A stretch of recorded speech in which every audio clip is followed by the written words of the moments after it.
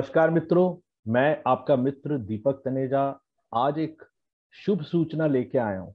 हम आदरणीय उत्तरा दीदी के साथ basics and fundamental of astrology पर तीसरा बैच करने वाले हैं। इस बैच की इंफॉर्मेशन हमने पहले भी दी थी, लेकिन किसी कारण से हम उसको समय स्टार्ट नहीं कर पाए थे।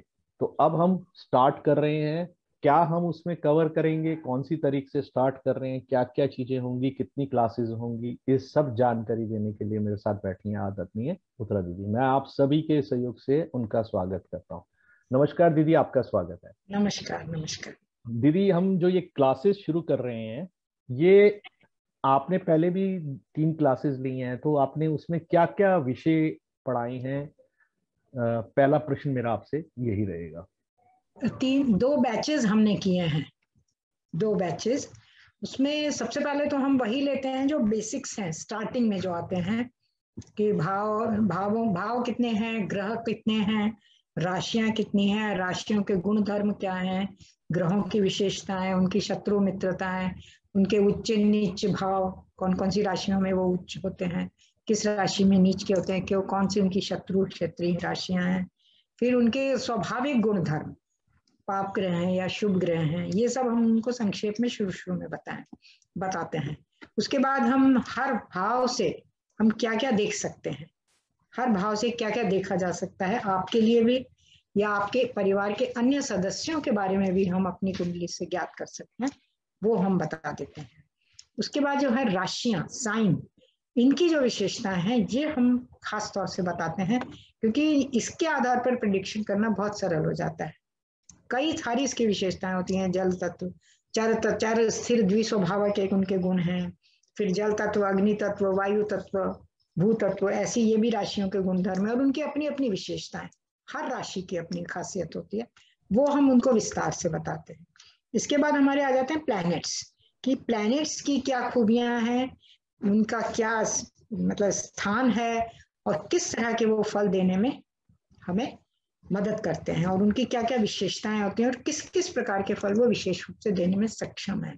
उसके बाद हम प्रिडिक्शन को तो हम साथ साथ लेते ही चलते हैं, हम विशेषताएँ बताते हैं कि अब इनको किस तरह से हम प्रिडिक्ट करने में किस तरह से काम में हर भाव के साथ किसी न किसी भाव का कॉम्बिनेशन बैठा रहता है तो उसके आधार पर हमें प्रिडिक्शन करने में सहायता मिलती है। हमारे हालाँकि त्रिषड और आय। ये तीन भाव हमारे वैदिक में बहुत अच्छे नहीं माने जाते। त्रिषणाय जिनको बोलते हैं।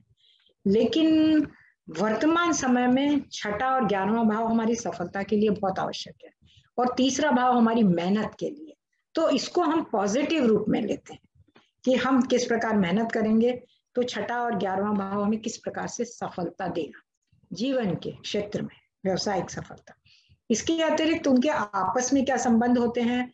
और किस तरह से उनके दृष्टि संबंध जो हैं, ये सब हम विस्तार से बताते हैं। और उसके बाद जो है, ये भी हम देख लेते हैं अच्छी तरह से कि नक्षत्रों का भी थोड़ा ज्ञान, क्योंकि 360 डिग्री का हमारा जो सर्कल है, जिसमें हमारी बारह राशियाँ हैं, और उनमें नक्षत्रों का विभाजन भी हुआ है। सत्ताईस नक्षत्र किन किन राशियों में कौन कौन से नक्षत्र हैं और किस किस तरह से वो फल देने में सक्षम है? क्योंकि उन नक्षत्रों के स्वामी भी ये हमारे गुरु ग्रह ही हैं। तो इसलिए उन ग्रहों, नक्षत्रों से भी हमारा संबंध जुड़ जाता है। तो हम संक्षेप में उनको नक्षत्रों के बारे में, नक्षत्र किस राशि में, कहाँ तक हैं, किस तरह से हैं, और ग्रह न सिर्फ़ किसी राशि में है, बल्कि किसी नक्षत्र में भी वो अवश्य होता है। तो उसके आधार पर यदि हम थोड़ा सा आगे बढ़ जाते हैं तो हमें फलित करने में बहुत आसानी हो जाती है। इसके अतिरिक्त हमारी जो जीवन में जो दशाएँ अंतर दशाएँ आती हैं, इनका भी अपना महत्व है। क्योंकि हम कितना भी सब देख लें, हम देखते हैं कि कईयों के उच्च का गुरु है जी, बहुत बढ़िया है। और लेकिन अगर जीवन में उसकी दशांतर दशा ही नहीं आ रही है, या बचपन में ही निकल गई, या ओल्ड एज में आ रही है तो उसका फ़ायदा नहीं मिल सकता। अच्छी दशा का सही समय पर आना, ये भी हमारे कर्म और भाग्यों से निर्धारित होता है। तो वो भी हम देख लेते हैं कि किस समय उसकी कौन सी दशा आ रही है? क्योंकि जीवन में बहुत दुख है, समस्याएँ हैं, कोई सुखी नहीं है कायदे से। तो ऐसा ही होता है कि कुंडलियाँ कई बार बहुत अच्छी दिखती हैं, मिलती हैं, लेकिन उनके फल हमें कब मिलेंगे, ये भी हमें जानना ज़रूरी है। ये प्रिडिक्शन का खास हिस्सा है कि कब होगा, कोई भी जो कार्य है कब होगा। तो इस तरह से हम इस बारे में काफ़ी विस्तार से बताते हैं। हमारी जो क्लासेस हैं, वो 20 क्लासेस होंगी। एवरी संडे हमारा रखने का विचार है, सुबह 10 से 12 यही हमारा मोस्टली टाइमिंग्स रहते हैं। और जूम के थ्रू हम पढ़ाते हैं और स्टडी मटेरियल भी आपको, सबको जो जो हमारे स्टूडेंट्स हैं, उनको दे दिया जाता है। इस तरह से ये क्लासेस हमारी चलेंगी। विद्यार्थियों की तरफ़ से या प्रश्नकर्ताओं की तरफ़ से अगर कोई प्रश्न आपके पास आता हो तो आप मुझे बताएँ, मैं उसका जवाब दूँगी। जी जी जी। मैं आपसे एक प्रश्न यहाँ करना चाहूँगा दीदी कि क्या जो बेसिक और फंडामेंटल को छोड़कर अगर कोई सीधा आगे केपी या प्राशरी की आगे की वो करना चाहे या नाड़ी या लाल किताब करना चाहे तो उसको लाभ होगा या ये सबसे ज़रूरी कोर्स है, इसके बाद ही आगे विचार करना चाहिए? ये तो बेसिक ही कोर्स है। आप, हमने तो इसका नाम ही इसीलिए बेसिक रखा है। कोई भी व्यक्ति यदि ज्योतिष में उसको रुचि है, वो सीखना चाहता है तो ये बेसिक कोर्स है। सबसे पहले तो इसको ये सीखना ही चाहिए। उसके बाद वो नाड़ी में जाए, केपी में जाए, जहाँ उसका जाने का मन है या जिसमें उसका इंटरेस्ट है, उस तरफ़ हो जाए। लेकिन ये बेसिक है। आप इसको मानिए कि अगर हम कॉलेज में गए हैं, हालाँकि ये कॉलेज का भी नहीं है, लेकिन लोग बागों को इंटरेस्ट रहता है तो वो खुद भी थोड़ा बहुत अपने से पढ़ लेते हैं।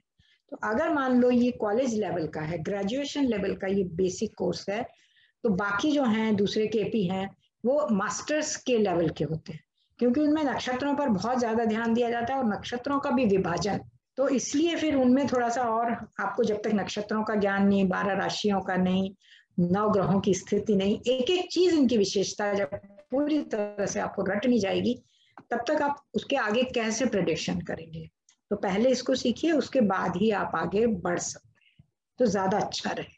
अक्सर दीदी ये बोलते हैं लोग कि क्या मैं इसके बाद प्रोडिक्शन कर पाऊँगा या नहीं कर पाऊँगा? क्योंकि मैंने हम, मैं आपके साथ करा ही रहा हूँ कोर्सेज मैं देख ही रहा हूँ कि उनकी क्या एक्सपेक्टेशन रहती है कि वो ये सोचते हैं कि इसके बाद उनको प्रोडिक्शन आ जानी चाहिए। जबकि ये तो बेसिक है इसमें, लेकिन आप फिर भी मैंने महसूस किया है कि आप उनको प्रोडिक्शन करने का पूरा तरीका बताते हैं कैसे कैसे हाउसेज और प्लैनेट्स को कॉम्बिनेशंस करके कहाँ पे कौन सी चीज़ को कैसे देखना है, देखने का तरीका एजुकेशन के लिए मैरिज के लिए, बच्चा होने के लिए जॉब के लिए प्रोफेशन के लिए।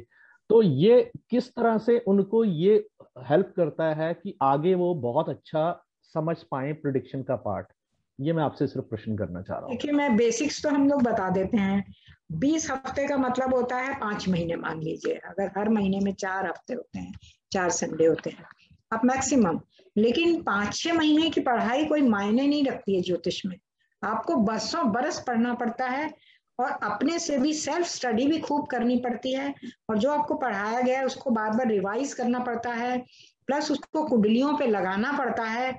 उसके बाद धीरे धीरे जब आपको एक्सपीरियंस हो जाता है, तभी आप प्रिडिक्शन करने में सक्षम हो पाते हैं। आप सोचें कि हमने ये पाँच महीने का कोर्स कर लिया और हम पढ़ें प्रिडिक्शन करने लग जाएँ। आप कोशिश करिए और प्रिडिक्शन करना शुरू करिए, तभी आपको धीरे धीरे आएगा।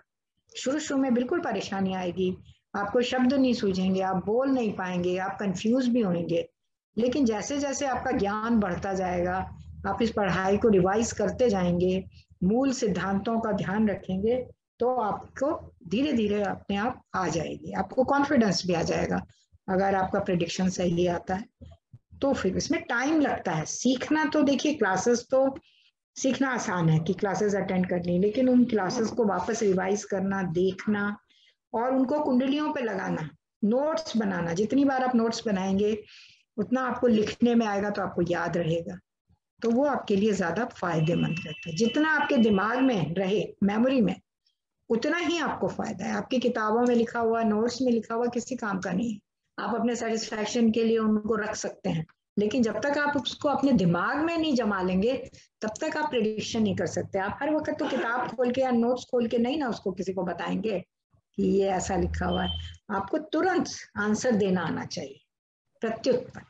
तभी आप सफल हो अब एक प्रश्न ये है कि आप हर क्लास में एक, दो, तीन चार्ट्स पर डिस्कशन करते हैं तो ये आप जो प्रैक्टिकल उनको कराते हैं ये उनका बेस फाउंडेशन बनाने में काफ़ी बढ़िया रहता है।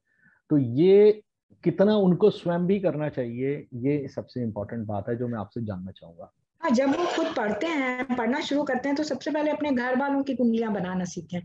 हालाँकि आजकल हम बनाना नहीं सिखाते हैं कुंडलियाँ। सॉफ्टवेयर जो आ गए हैं, मोबाइल के, लैपटॉप के, उन्होंने कुंडलियाँ बनाना हमें बहुत आसान कर दिया है।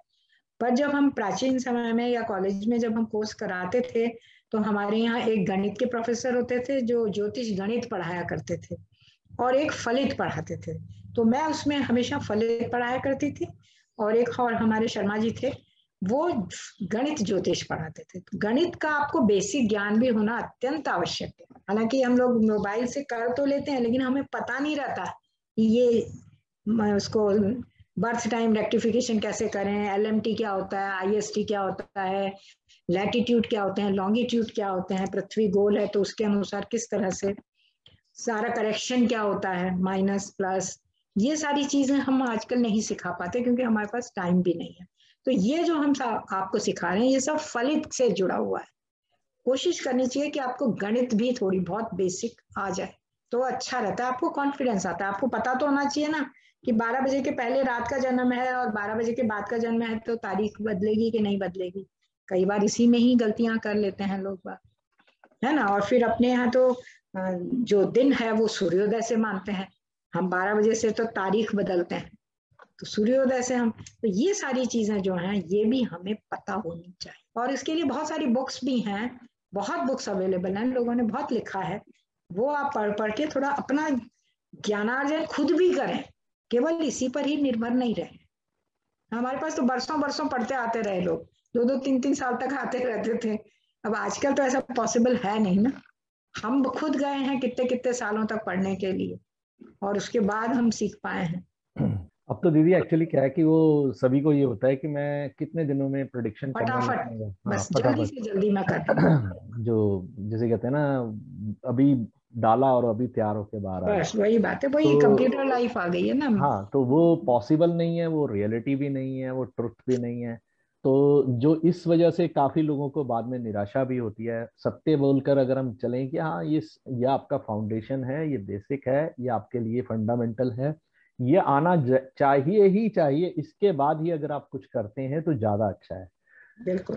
तो ये ज़्यादा अच्छा है और मैं देख ही रहा हूँ कि आप सब चीज़ें जो आपने बताई भी हैं वो यहाँ लिखी भी हुई हैं कि आप कैसे रिलेशंस को सिखाते हैं हाउसेस राशि एंड प्लैनेट्स का प्रोडिक्शन के पार्ट में। उसमें मैं तो देखा है कि आप इवन जो नक्षत्र लेवल तक भी बताती हैं वो सब चीज़ें आप बताती हैं। हमारी क्लासेस बीस रहेंगी और दो घंटे का क्लासेस का टाइमिंग रहेगा। जूम के माध्यम से हम ये क्लासेस चलेंगी और स्टूडेंट्स को रिकॉर्डिंग प्रोवाइड की जाएगी। इसके अलावा जो फ़ीस है हमारी पीछे भी यही रही थी बारह हज़ार हमने पिछले दोनों बैचेस में यही ली थी और हाँ। हमारी क्लासेस स्टार्ट हो रही हैं दस दस दो हज़ार इक्कीस से। और अगर किसी ने संपर्क करना है, आदरणीय उत्तरा दीदी का नंबर यहाँ पर आप देख सकते हैं, nine three five zero five eight four seven seven one है। आप उनको भी संपर्क कर सकते हैं। मेरा नंबर भी नीचे दिया गया है, eight three six eight double nine two seven double three. आप मुझे भी संपर्क कर सकते हैं। हम दोनों में से किसी को भी संपर्क करेंगे। आप सभी का स्वागत रहेगा। हम दोनों के ईमेल एड्रेसेस भी यहाँ पर दिए हुए हैं। आप में से किसी को कोई भी चर्चा करनी हो, इस कोर्स से संबंधित कोई भी बात करनी हो, आप हम दोनों से बात कर सकते इसी के साथ आज के लिए इतना ही। नमस्कार, धन्यवाद।